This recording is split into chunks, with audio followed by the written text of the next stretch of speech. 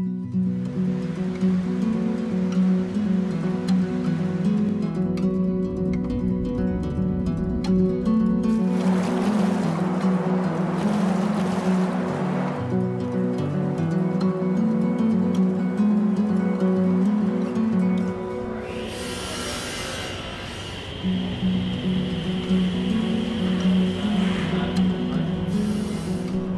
got into resin to begin with because I was actually looking for something that embodied the language of color. It wasn't glass, it wasn't painting, it was sculpture, it just was color. When I realized that was the material that I wanted to work with, it was about, you know, how do I learn how to do it? And it was a lot of trial and error.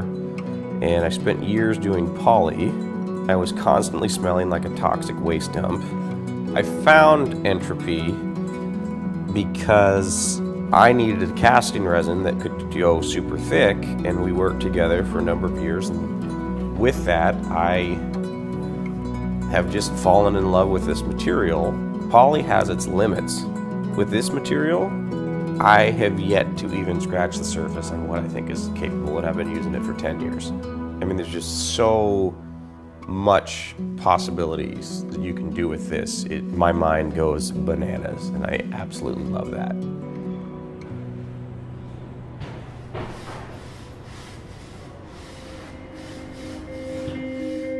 Every artist is always making a self-portrait of themselves, ultimately.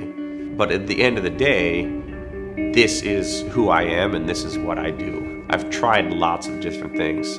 This is the best way that I have found that I can contribute back to the community. And this is my function, this is my role. And trust me, I could be doing some other job making a whole hell lot more money, which I've done before, but I love this job.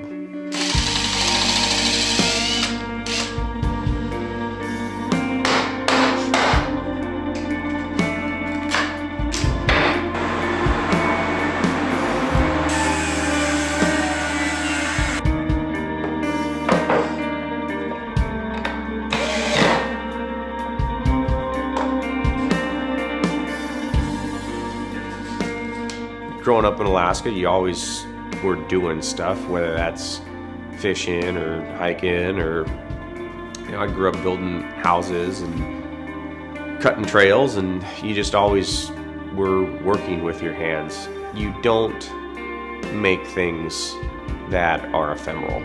You don't make, there's no, junk is not a, a normal thing. You use everything that you possibly have because you just simply don't have access to everything else. Um, you don't have this idea of just throwing stuff away. More importantly, as I grew older, I realized that it was easier for me to communicate by making something or creating something that was through the visual language as opposed to speaking of it.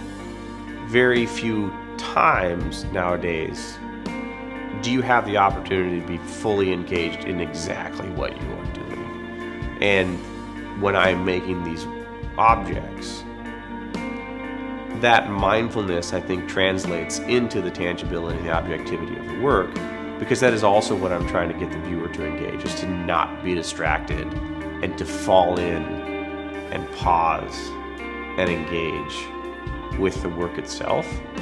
And hopefully the message of that work will translate into their real life.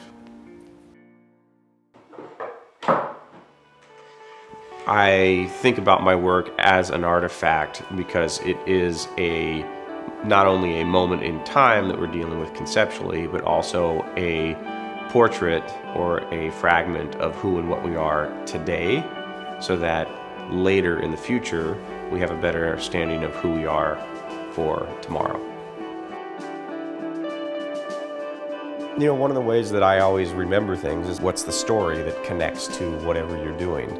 And when I first met Desi and Ray, it was this idea of two brothers wanting to make a product that made the sports that they loved more sustainable. So we immediately have this connection of, oh, you know, we like surfing, we like skiing, snowboarding. When you're working with people who share similar values, of course you want to get behind it. I mean, it makes it simple.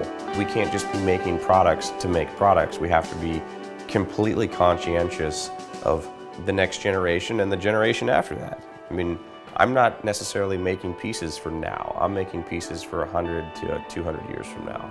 And when you put that time and thoughtfulness into the work, it always lasts and it's always better.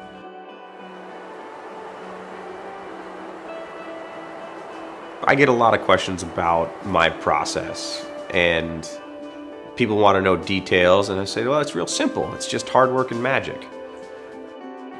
The studio does become like an alchemist shop. You are mixing, grinding, creating all of these things that all of a sudden it's then poof. But like any witch's brew, it takes days to get everything into place.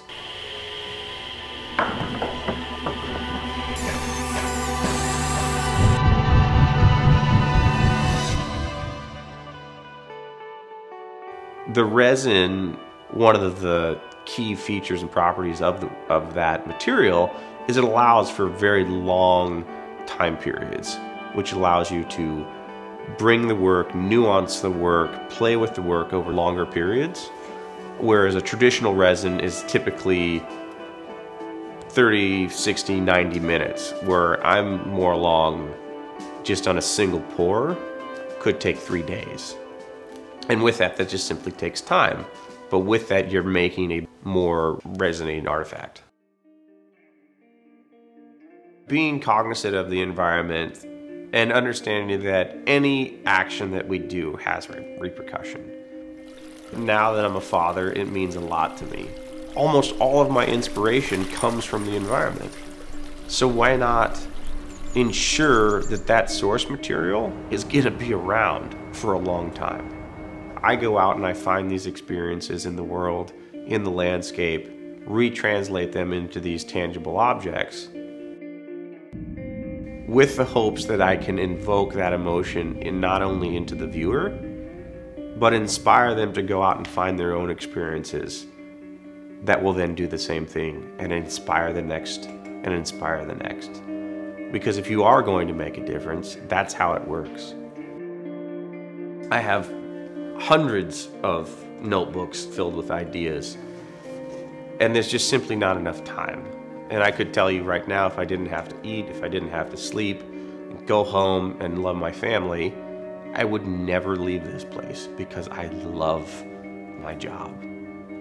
And all I can think about is not necessarily bigger is better and more is better, but I do know that like the resin itself, this is just the tip of the iceberg.